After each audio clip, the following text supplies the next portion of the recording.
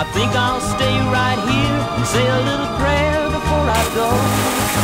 Me and God are watching Scotty grow.